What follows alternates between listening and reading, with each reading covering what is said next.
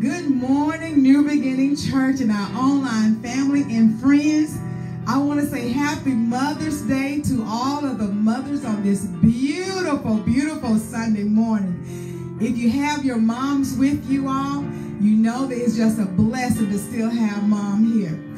This week was a challenging week for me, and I thank all of you all for your prayers as I went through surgery on Wednesday. I literally felt the prayers of the righteous, and I'm telling you, it was the prayers that brought me through. They wouldn't even let Pastor Davis in the hospital.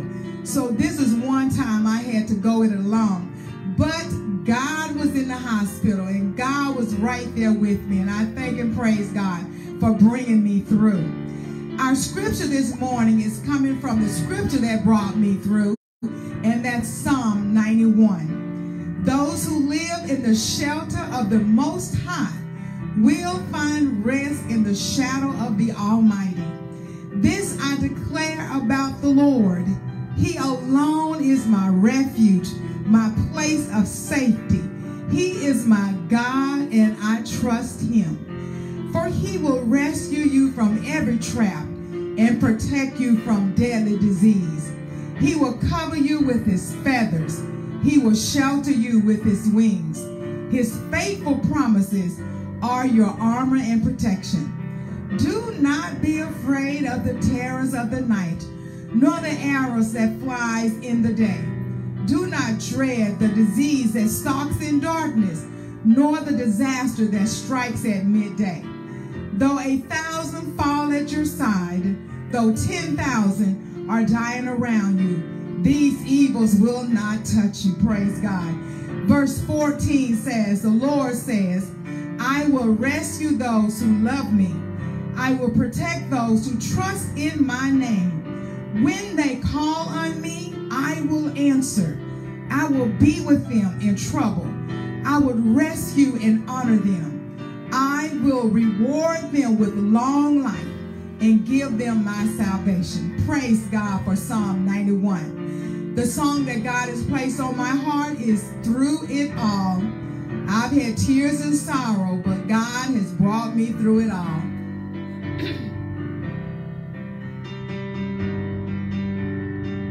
I've had many tears and sorrows.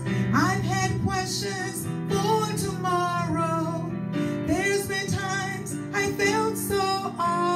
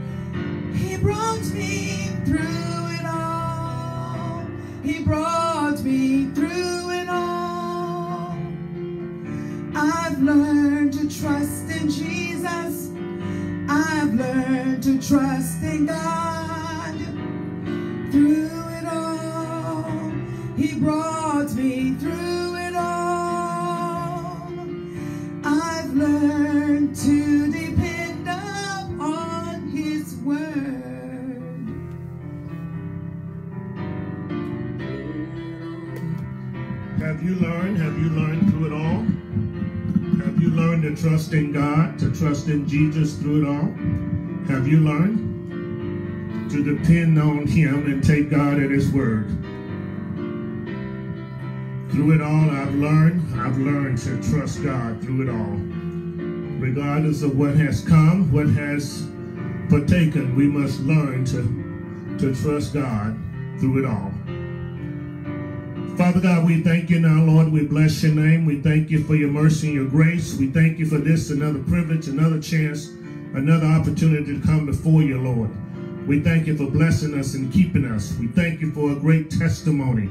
We thank you, Lord, for watching over us in spite of us, watching over us in spite of our meanness, our cruelties, watching over us and, and keeping us in our right mind. We thank you, Lord, for another privilege, another chance just to worship you. Now, Lord, we pray that you bless us as we come to hear your word. Bless that your word will fall on good soil. That your word, Father God, would be moved and move people in a mighty way. Bless us, Father God, as we come today that, that we will hear your word and benefit from your word. That your word will go forward and old habits will be thrown away and old burdens will be rolled away. Bless us now that your word will be powerful, Father God, that people will understand your word very clearly and understand you, Father God. We pray, Father God, that your word, Father God, will be something that we will look to in times of trouble and in time of peace. Now, Lord, bless me, rescue me from me. Forgive me for my sins. Bless me, Father God, to honor you as the Holy Spirit leads. In Jesus' name we pray. Amen. And thank God. I've learned to depend upon his word. Hallelujah to the Lamb. Why don't we thank God for Sister Carolyn Davis? Thank God for her, for blessing her and uh, blessing her to be with us one more time, for blessing her to be a soldier for the Lord. Yes, she had many excuses on today not to be in church, but she's in church, and I pray and I hope that you're in church also.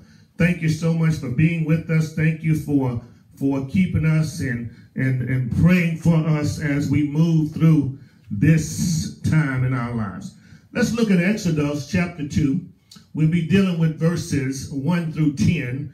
Exodus chapter 2, verses 1 through 10 is where we are today. Let me take this moment to thank those who are mothers, those who have served as mothers, and those who hope to be mothers. Thank you so much for joining us, and thank you for what you have done uh, for young people throughout this world. Thank you so much. There's nothing like mother's love. There's nothing like like those who have nourished us. Even though they were not our biological mothers, they nourished us. And I just want to say thank you for what you have already already done. Our focus today is is Exodus chapter 2, verse chapter 2, verses 1 through uh, 10. I will read verses 8 through 10 in your hearing, and I'll start in the middle of the the middle of the, the story and back back you up into it. Just these three verses, if you don't mind. Exodus chapter 2, verses 8 through 10. When you found it, you will discover these words. And Pharaoh's daughter said to her, Go. So the maiden went and called the child's mother. Then Pharaoh's daughter said to her, Take this child away and nurse it for me, and I will give you your wages. So the woman took the child and nursed him, and the child grew, and she brought him to Pharaoh's daughter, and she became his son. So she called his son name, called his name Moses, saying, Because I drew him out of the water. Honey, if you would swipe it that way, it will show.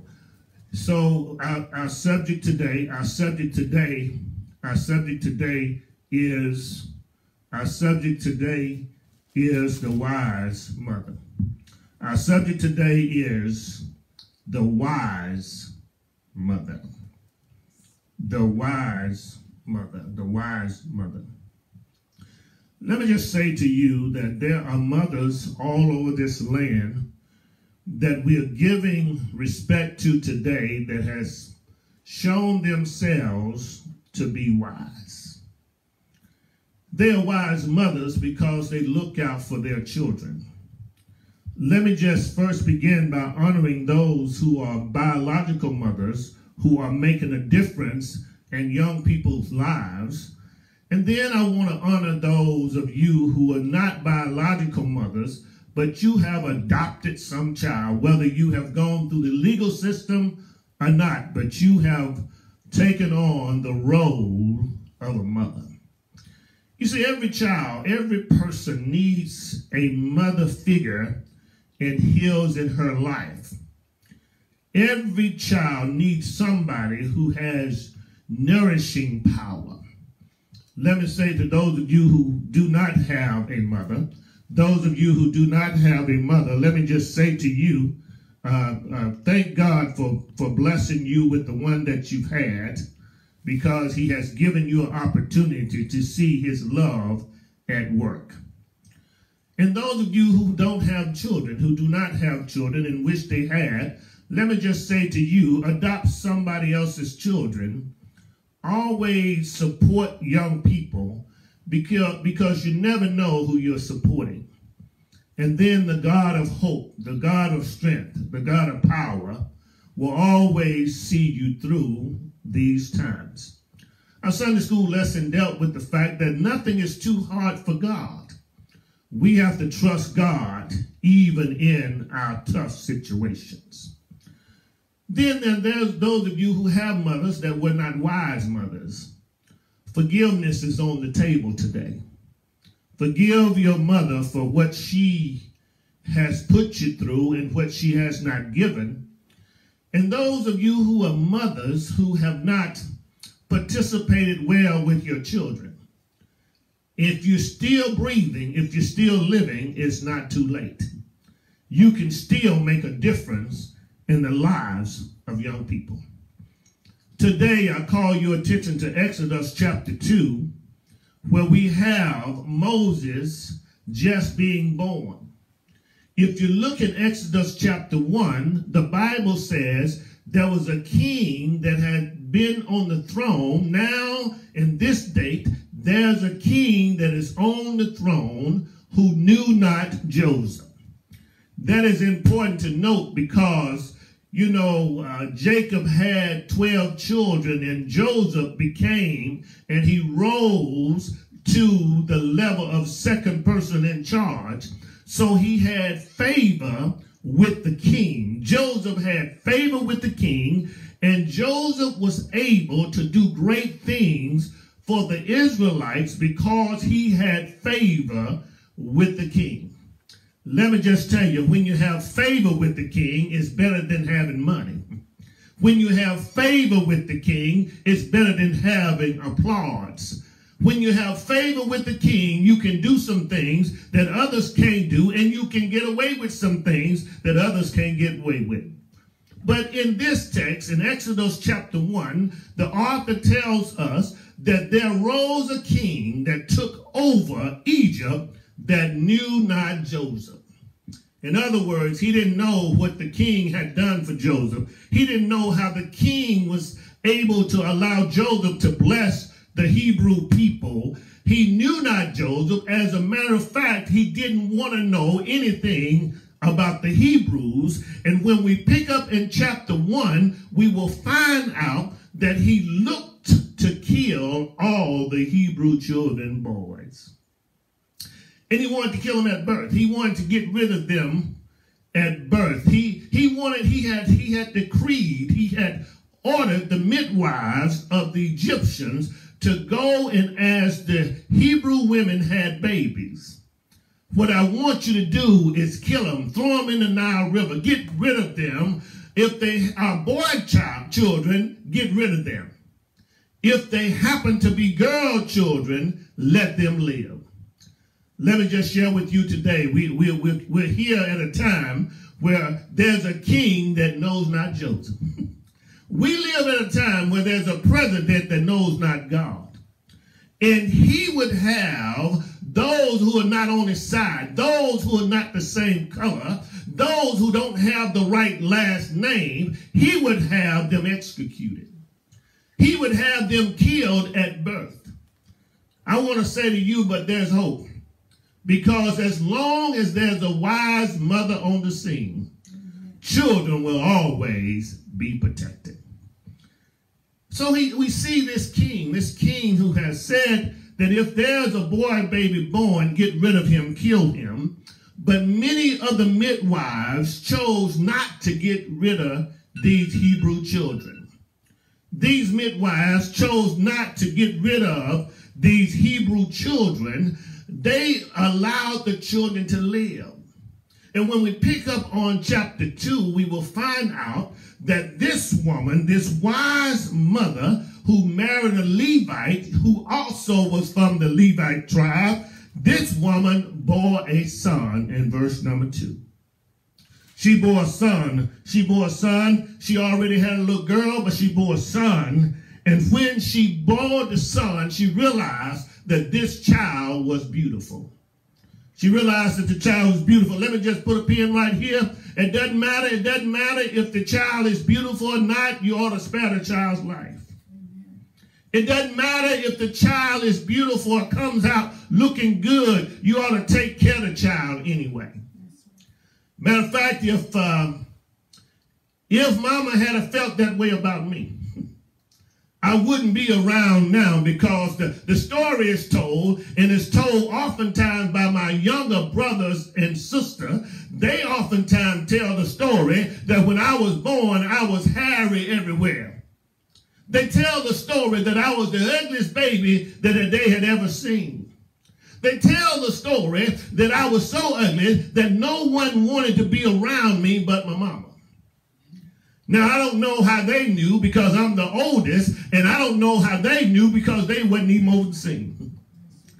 But if, if mama had felt that way about me, because I wasn't beautiful, then she would have let me die. But we find in the text, this woman didn't let her child get killed. She had a baby. It was a Hebrew baby. It was a male child. And the king had decreed that any male children born, the, the, the midwives were to kill them. The text declares that this woman, this woman had favor with the midwives. The midwives didn't kill their baby, nor did they push him out in the Nile Sea. Uh, but what they did do is let the baby live. The text declares that this woman hid the baby. She hid this male child for three months. She hid him for three months, and when she could not hide him again, when she could not hide him any longer, the Bible says that she took a basket of bulrush, or art, of bulrush, and dabbed it with asphalt and pitch. She put the baby in the barrel, in, in, she put the baby in the ark and she laid it in the reeds by the river. And she put it on the river's bank. This woman, this woman took her child. She had given him life. But she took her child and she laid him in a basket. She laid him in a basket with bull, made of bulrushes she put him in a basket, surrounded the basket with asphalt and pitch. She put him in the reeds by the bank of the river. And his sister was watching from afar off because she wanted to see what would happen to her little brother. Let me just share with you today. My first point to you is a wise mother gives life. A wise mother gives life. So the Bible says that this baby was born to her she gave him life. But let me tell you, any woman can give life for the most part. It doesn't make you a wise mother because you give life. It makes you a mother because you give life. But when you are a wise mother, you're able to not only give life, but you're able to give a living. She gives life to him in verse number two, but she goes on and she gives him a living in verse number three. Wise mothers, wise mothers give them living. And she could have, she really could have been selfish about it and say, I'm not giving up my baby for nothing. My next point to you is not only does the wise mother give life, not only does the wise mother give a living, a wise mother is not stuck on herself when it comes to her child. A wise mother would rather see her child live than take a chance on her child dying. A wise mother, a wise mother would do whatever it takes to save her child. A wise mother, see, a wise mother doesn't show up when the getting gets good. A wise mother will stick in there when the things are not well. So she puts him on in this basket right next to the river's banks. Sister follows. So the sister watches to see what's going to happen. And God has a divine destiny for all of us. The sister watches from a distance. The Bible says in verse number 5 of Exodus chapter 2, the Bible declares that the daughter of Pharaoh came down to bathe in the river. You see, Pharaoh wanted to kill. Yeah, he wanted to kill all the male boys, all the male babies, all the boys that were born to these Hebrew women. But see, Pharaoh had already put them in slavery. He made them build stuff. He, he made them take care of the empire. He made them take care of his kingdom at no wages. He took care of his place through them and through their slave laboring. But when his daughter came to bathe in the river, she came to bathe in the river and she noticed something in the river. The text declares that, that when the daughter of Pharaoh came down to bathe at the river, and her handmaid walked across the riverside. And when she saw the ark among the reeds, she sent her handmaid to get it. Let me just share with you God will protect your children if you help God's business. God has a way of protecting us. God has a way of blessing us when a wise mother looks out for her children. So this story, this story is is a, a story of preservation. This story, this, this story is a story of how a mother preserves her child, preserves his life, preserves his living, and finally preserves his legacy. The Bible says, the Bible says that, that she got to a point where she sent her handmaid to get the baby. Pharaoh's daughter the daughter of the Pharaoh that's looking to kill the Hebrew children. The daughter of the Pharaoh that said that if the boy is born by the Hebrews, kill him. Now here is Moses. He is, he is born a male of a Hebrew woman and Pharaoh's daughter sends her handmaid to go and get this baby. So she had compassion on him because the baby started crying. Let me tell you, God will have your baby to cry at the right time. Pastor Isidore Edwards talk about, talks about the fact that he used to get up and, and jog early in the morning. And one morning he got up and he went jogging and he left his keys in the house. So he came back to the house and he knocked on the door and he couldn't get in the door. He ran around, he knocked on the window, he couldn't get in the window. He began to take a stick and beat upon the bottom of the house, but his wife never heard him. But lo and behold, when the baby cried, he says his baby started to cry and his wife jumped right up and he she answered the call of the baby. Yes, when, when a baby cries, if you are a real mother, you can't stand the crying. So Pharaoh's daughter, with this motherly instinct, heard the baby crying, and the Bible says that she had compassion. Verse number six, she had compassion on him. She noticed also that this is a Hebrew baby.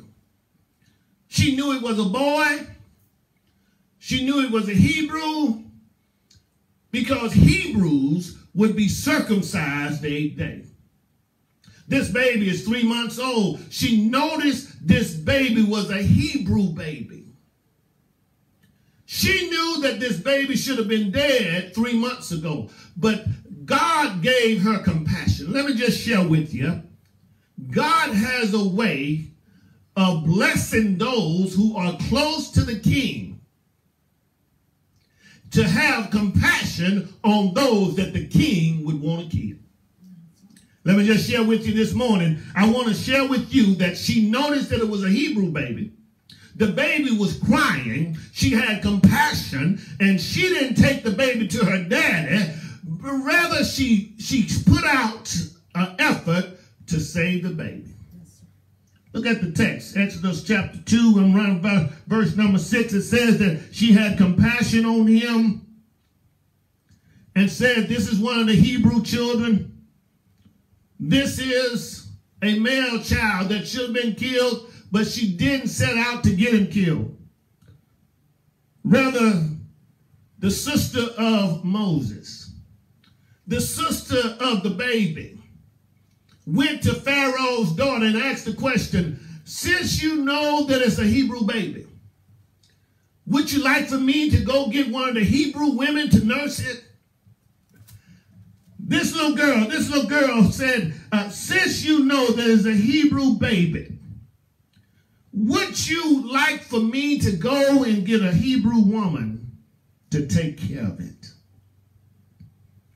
Verse number eight, it says, and Pharaoh's daughter said to her, Go. I just want to let you know that God has a way of orchestrating things where the blessed can be blessed. Where the blessed can really be blessed to a point that you can scream, I am highly favored. Look at, look at how the story goes. And Pharaoh's daughter said to, to her in verse number 8, Go. So the maiden went and called the child's mother. The mother couldn't come out and show herself. The mother wasn't able to say, that's my baby. But the daughter of that mother played a pivotal role in the life of her brother by going to Pharaoh's daughter and asking, do you want me to get his mother is what she was really saying. Do you want me to go and get one of the Hebrew women to nurse him? And look at what happens after that. Verse number nine, then Pharaoh's daughter said to her, this is to the mother. This is the mother of the baby that was put in bulrush, that was put in the ark, that put in the basket. Then Pharaoh's daughter said to the mother, said to her, take this child away and nurse it for me. Oh, good God Almighty. Not only, not only, not only does she give life, but she gives a living. Not only do a real mother, a, not only does a wise mother give life, but they are able to give living. So she takes the baby, nurses the baby as if it's her own because it is her own. Look at what God can do. God can make a way out of no way. So this baby that was hid for three months should have been killed a long time ago by Pharaoh. Pharaoh's daughter gives instruction to the mama, you go and you, not knowing, not knowing that this is the mother, you go and you nurse this baby. you give this baby a living. The next part of verse number nine just blows my mind. It says, and I will give you wages. I will give you wages. So the woman took the child and nursed it. Says, now look, you take your own baby. You nurse your own baby, and I'm going to pay you for it. Not only does this woman receives a blessing from God that God spares the life of the baby. Not only does he spare the life of the baby in the enemy's hands, in the enemy's camp, but he, she, God also allows the mother to nurse the baby and get paid for it. Look at what God can do. Let me tell you, you need to stay with God because God can do it. You need to stay protected by God because God can do it.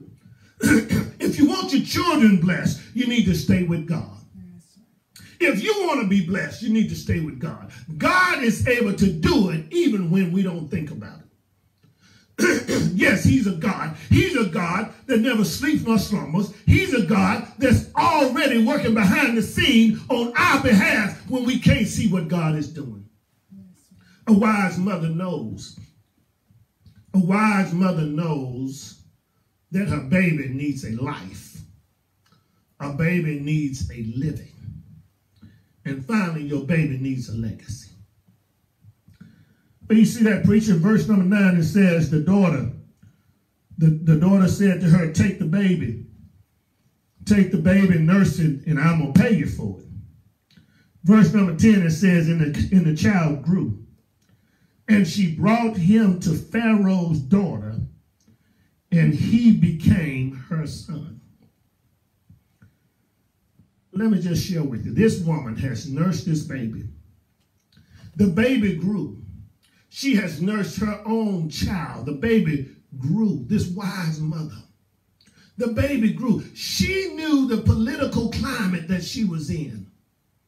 And she knew that if she had spoken up and said, No, this is my baby, she knew her baby, her child, her, her child who had grown would be killed.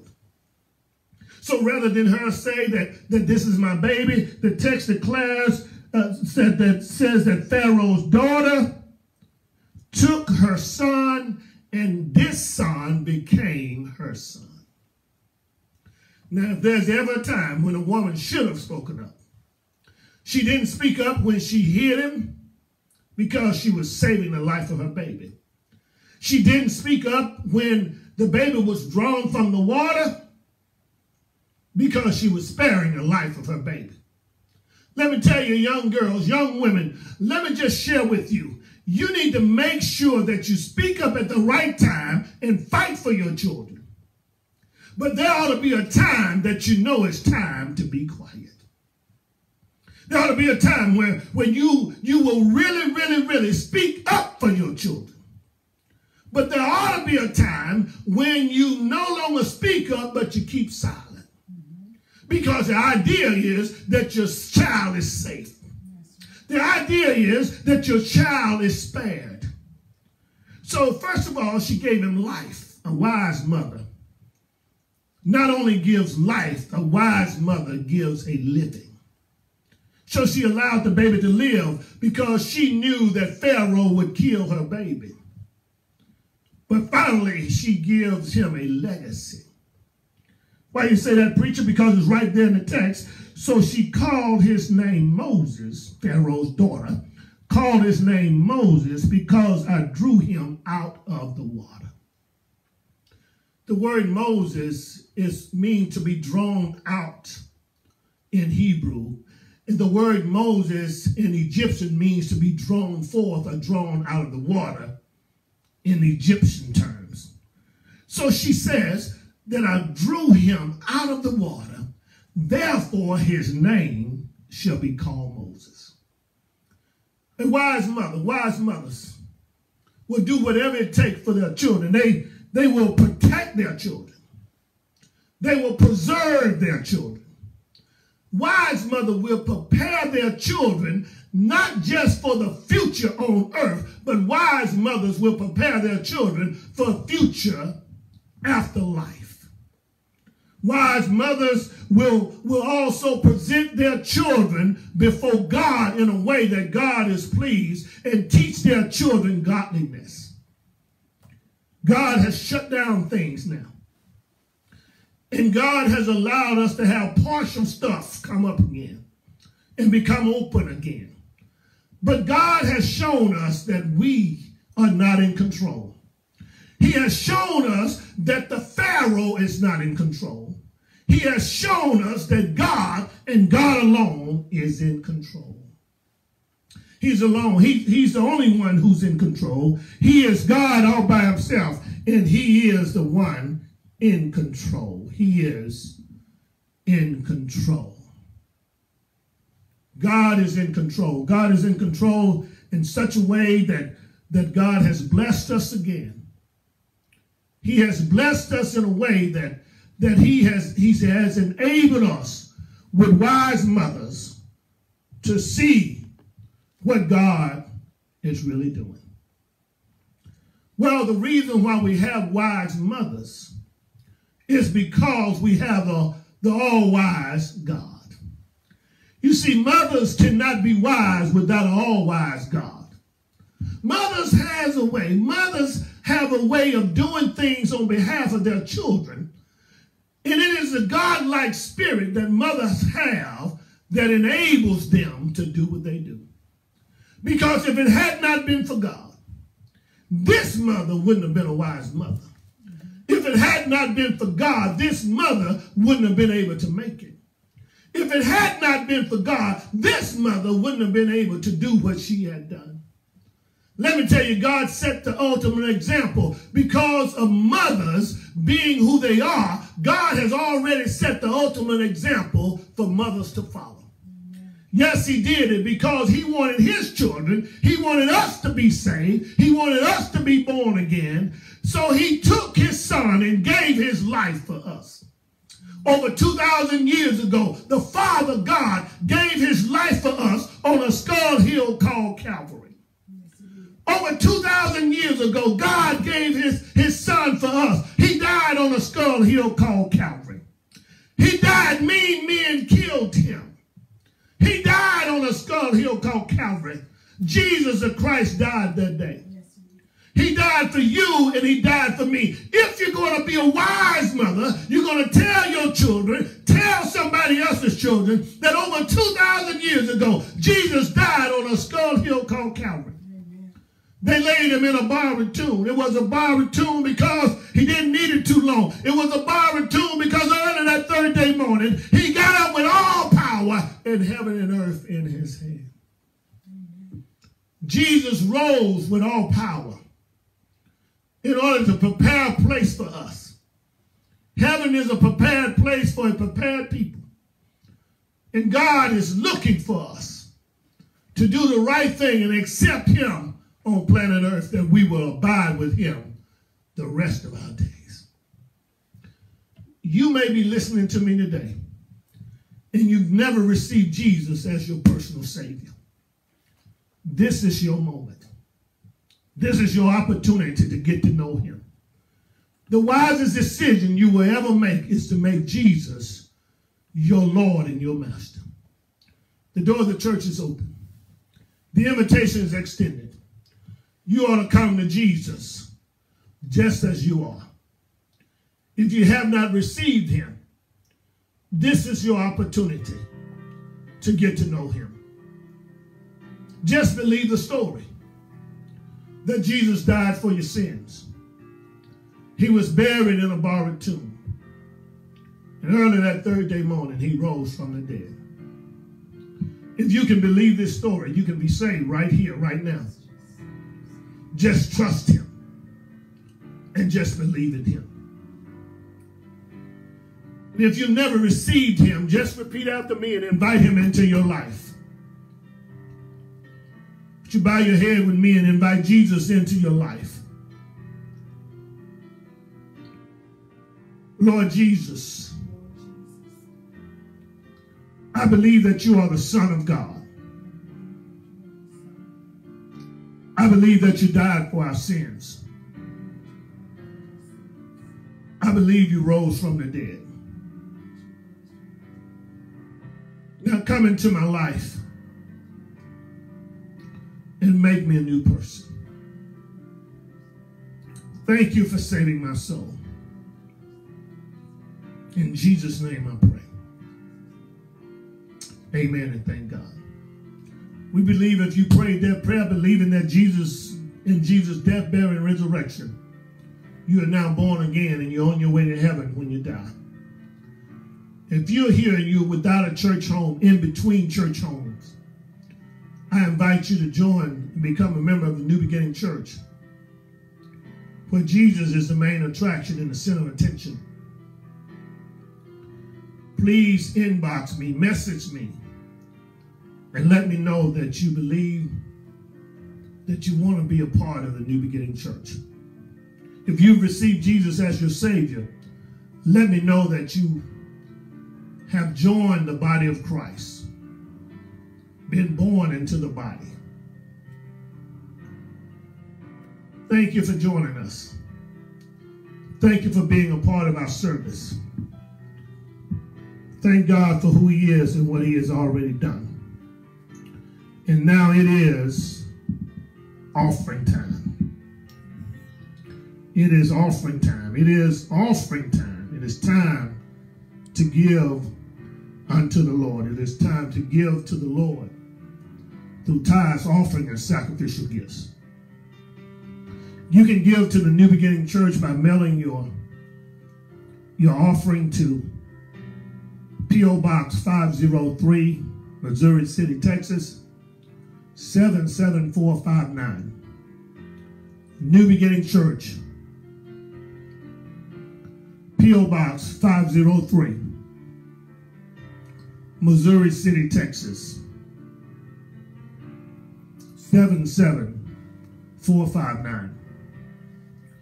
And if you want to use our cash app, our cash tag is dollar sign NBC Souls dollar sign or cash tag NBC Souls.